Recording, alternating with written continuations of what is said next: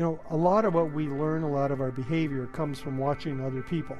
We're not even conscious of it. But, you know, if everybody else starts, you know, wearing a certain sort of shoe or, or, you know, acting in a certain, or using a phrase in business, like all these new sort of buzz phrases that come, you have to too, because it's to fit in, it means something, it's, it's part of being high performance and, and being part of your group.